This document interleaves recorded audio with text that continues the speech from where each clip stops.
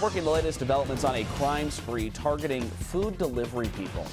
As we've been reporting, police say they had five delivery drivers robbed this month. Now they're warning all restaurants that offer delivery to take some extra precautions. Eyewitness News reporter Marilyn Scherer joins us now with the details from the Blackstone Valley Mobile Newsroom in Pawtucket. Pawtucket police say three pizza delivery workers were robbed over a four day period, and as a result, they're issuing a warning to store owners and food delivery workers.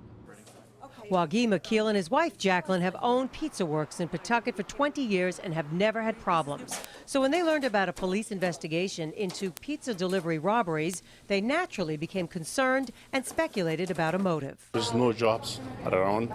Nobody have a work. And, you know, desperate drugs. McKeel says police warned him and all pizza shop owners of five separate robberies of food delivery workers in November, including the most recent one Wednesday night at Bill's Pizza on Larch Street. Police say a Bill's delivery worker was robbed at gunpoint and knife point by four men who took money and a cell phone. The Pizza Works delivery man we spoke to was so rattled by the news he didn't want to talk on camera. To help safeguard food delivery employees, police offer the following advice.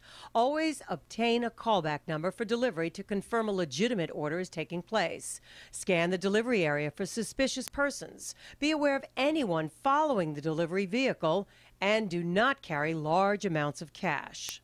McKeel says delivery is 20% of his business and drivers don't go further than a one mile radius. He says they're always cautious about delivery calls and says topper signs, which he doesn't use, can attract the wrong people. The car topper is a bad idea because it's it's my I get you more business, but you put your driver life and it's threatened for his his life. Makes them a target for yeah. people. Police say they are now searching for the armed suspects, anywhere between two and four males involved in these five robberies. They say the suspects were wearing either masks or hoodies to obscure their faces. Now, anyone with information is asked to call Pawtucket Police. They say all of these robberies occurred after dark. Reporting in Pawtucket with the mobile newsroom, Marilyn Shera, Eyewitness News.